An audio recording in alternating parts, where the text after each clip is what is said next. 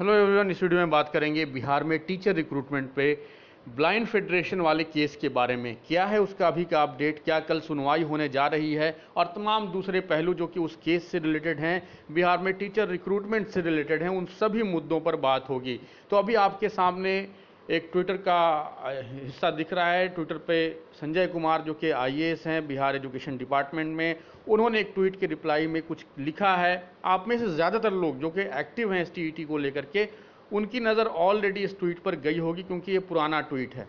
लेकिन इसको अगर ब्लाइंड फेडरेशन वाले केस की बात कर रहे हैं तो इसको इंक्लूड करना ज़रूरी था। तो यहाँ पर इन्होंने लिखा है कि एक पोजिशन पे है। ये वाला केस पाँच अप्रैल को सुना जाएगा। ये सारी बातें इन्होंने लिखा हुआ है। ये ये भी कह रहे हैं कि अपनी तरफ़ से भी ये कोशिश कर रहे हैं। ये सारी बातें। अभी के टाइम पे कंडीशन ये हो गया है कि पटना हाई कोर्ट की वेबसाइट से ज़्यादा ट्रैफ़िक इनके ट्विटर प्रोफ़ाइल पर जाता होगा। क्योंकि इन्होंने काफ़ी लोगों को रिप्लाई किया है। अब चूँकि कईयों को रिप्लाई कर दिया, इसलिए बहुत सारे और लोग भी इनको टैग करते रहते हैं। तो खैर एनी हाउ इन्होंने यही बात कही है कि एक पोजीशन पे है और अभी हम लोग काउज लिस्ट पर जाएँगे और देखेंगे कि वहाँ पर क्या हाल है। क्या केस लिस्टिंग हुआ है? क्योंकि पाँच अप्रैल का काउज लिस्ट हाई कोर्ट की वेबसाइट पर आ चुका है। कल जिन जिन केसेस की सुनवाई होनी है, उनकी लिस्ट ऑलरेडी आ चुकी है पटना हाईकोर्ट की वेबसाइट पर तो ये तो आपने देख लिया ट्विटर पे जो कुछ है। अब हम लोग चलते हैं, ये जो ब्लाइंड फेडरेशन वाला जो सारा मामला है इसके ऊपर। इस पर पहले भी वीडियो क्रिएट कर चुका हूँ, कोई पहली बार नहीं है।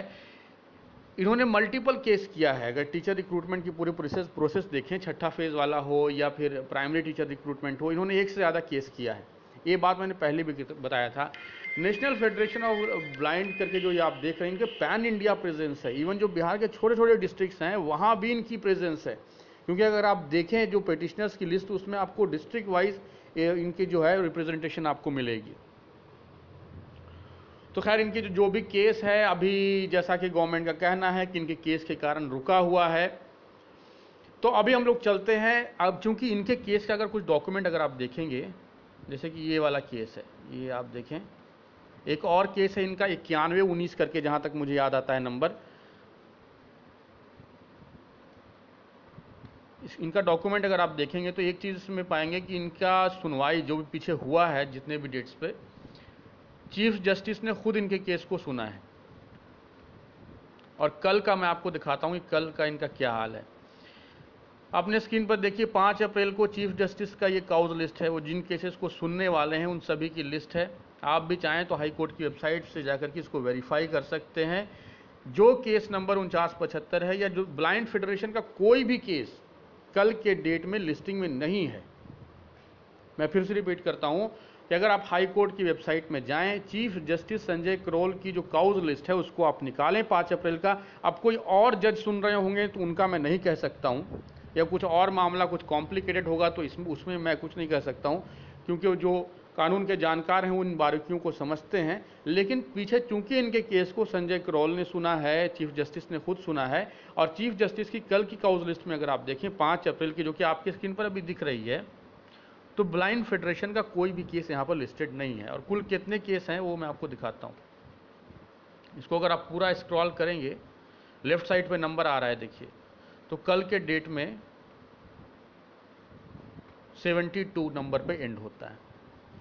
और वैसे भी जो कह रहे थे, संजय कुमार जो कह रहे थे तो एक सौ पंचानवे नंबर से सुनवाई होने का कितना चांस है?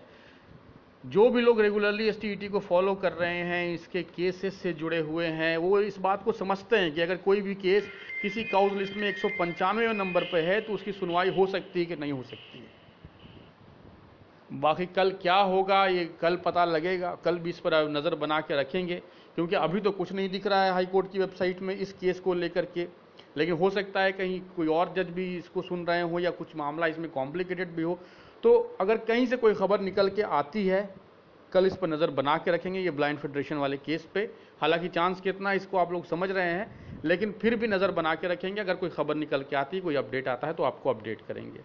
पर अभी के लिए बस यही सारी बातें थी कि एक प्राइवेट ऑर्गेनाइजेशन है एनजीओ टाइप है, जिसने कई सारे केसेस किए हैं। मे बी रिजर्वेशन पॉलिसी को लेकर के इनके केसेस को चीफ जस्टिस ने खुद सुना है और लिस्टिंग में कहीं इनका दिखता नहीं है। कल की लिस्टिंग अगर आप देखें तो कहीं इनका दिखता नहीं है। अभी के लिए बस यही सारी बातें थीं। आगे जब भी अपडेट आई आ, कोई भी ऐसा केस जो टीचर रिक्रूटमेंट को इफ़ेक्ट कर रहा है तो उसको कोशिश करेंगे कवर करने का।